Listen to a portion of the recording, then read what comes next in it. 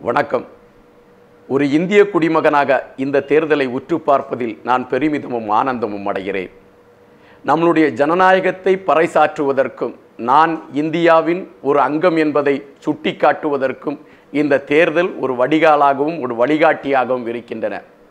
ஜனநாயகம் என்கின்ற ஒரு பூப்பந்தை கையில் வைத்துக்கொண்டு இந்தியா உலக நாடுகளை தன்பக்கம் திருப்பி பார்க்க வைத்துக்கொண்டு இருப்பு இருக்கின்றது என்பதற்கு தேர்தல் ஒன்றுதான் அத்தாட்சியும் ஆணிவேரும். ஆனால் இன்றைய தேர்தல் அந்த ஜனநாயகத்திற்கு உட்பட்டு நடந்து கொண்டிருக்கின்றதா என்கின்ற கேள்விகள் நம்மை அறியாமலே நமக்குள் எழ ஆரம்பித்து விடுகின்றன. இது ஒரு வியப்பின் குறியல்ல. இது ஒரு அவமானத்தின் குறியாகத்தான் நான் என்னை பார்க்கிறேன்.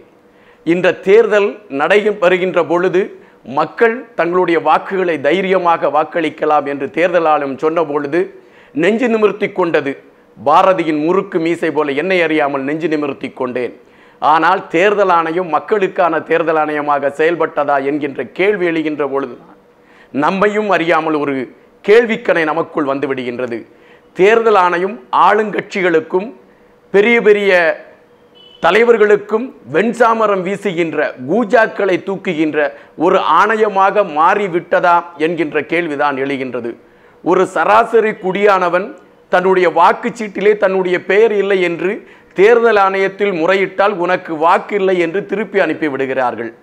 ஆனால் இதே ஒரு நடிகரோ இல்லை ஒரு பிரபலமானவர்களோ எனக்கு என் மனைவிக்கு வாக்கில் உரிமை இருக்கிறது எனக்கு இல்லை என்று கோரிக்கை வைத்துவிட்டால் அவர்களுக்கு சிறப்பு அந்தஸ்தில் அவர்களுக்கு வாக்களிக்க இந்த தேர்தல் ஆணையம் வாய்ப்புகளையும் வாயிற்கதவுகளையும் திறந்து கொடுக்கிறது. இந்த சட்டம் எங்கு எப்பொழுது இயற்றப்பட்டது என்று பாமரன் கேட்கிறான். அதற்கு தேர்தல் ஆணையம் பதில் சொல்லித்தான் தீர வேண்டும். ஆனால் தேர்தல் ஆணையம் பதிலை சொல்லாது. அதன்போல தேர்தல் ஆணையம் தன்னுடைய வாக்குகள் மக்களால் அளிக்கப்பட்ட வாக்குகளை ஒரு மாதம் காவல் காக்கின்ற ஒரு இழிவுச் செயலுக்கு ஏன் ஒரு முடிவை எடுத்தது என்பது பல்லாயிரக்கணக்கான கேள்விக்கணைகள். தேர்தல் நடந்து முடிந்துவிட்டால் மறுநிமிடமே அல்லது ஒரு நாள் கழித்தே அதனுடைய தேர்தல் முடிவுகளை தெரிவிக்கின்ற வகையில் வசதிகளும் விஞ்ஞான வளர்ச்சிகளும் இங்கு இருக்கின்ற இணையதளத்தின் சேவைகளும் நமக்கு இருக்கின்ற பொழுது பல கட்டங்களாக தேர்தலை நடத்தி அந்த தேர்தலை பூதம் பெட்டியை காப்பது போல காக்க வைத்து அதற்குள் யாருக்கும் தெரியாமல் ஒருவரை அனுப்பி வைத்து ஜனநாயகத்திற்கு அங்கே ஒரு கேள்விக்குரிய எழுப்பி வைத்து மக்களை பதபதப்பிக்க வைத்து இந்த வாக்கு உண்மையான வாக்குதானா? இல்லை இவர்கள் என்ன போவது? மக்களின் வாக்கை என்ன போகிறார்களா? இல்லை பெட்டி மாறப்படுகிறதா? இல்லை வேறு எவருடைய பெட்டியாவது உள்ளே வரப்போகிறதா? என்கின்ற வினாக்களை எல்லாம் இன்று தேர்தல் ஆணையம் எழுப்பியிருக்கிறது என்றால் நான் இந்திய குடிமகன் இந்திய பிரஜை ஜனநாயகத்தின் மேல் பற்று கொண்டவன் என்கின்ற கணக்கில் எப்படி நான் தேர்தல் ஆணையத்தை ஒரு உறவு கடத்தை நீட்டி அவர்களை நான் வரவேற்று பார்க்க முடியும்? தேர்தல் ஆணையம் என்பது நடுநிலைமையோடு செயல்படுகின்ற ஒரு வாய்க்காலையும் ஒரு வழியமைப்புகளையும் தேர்தல் ஆணையம் உருவாக்கி கொள்ள வேண்டும்.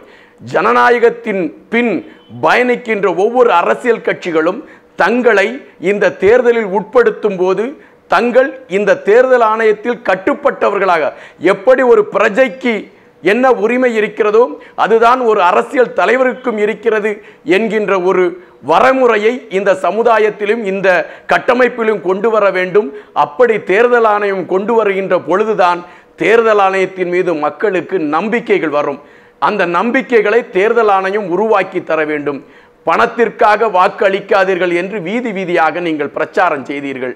இளைஞர்கள் மத்தியிலே ஒரு அற்புதமான விதையை நீங்கள் தூவினீர்கள்.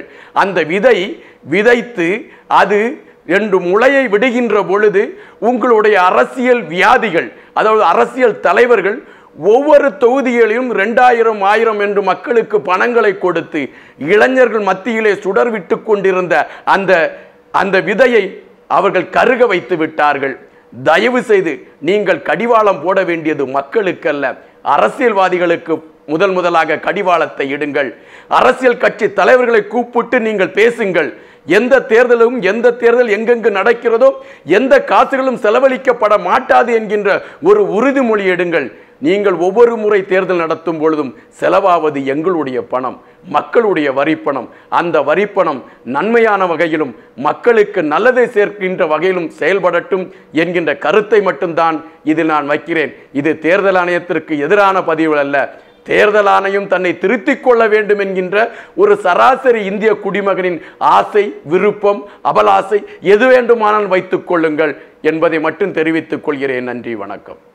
Like share and subscribe subscribe பண்ணாதவங்க இப்பவே சப்ஸ்கிரைப் பண்ணிருங்க. எங்களோட அப்டேட்ஸ் உங்களுக்கு வரணும்னா பெல் பட்டனை பிரஸ் பண்ணுங்க.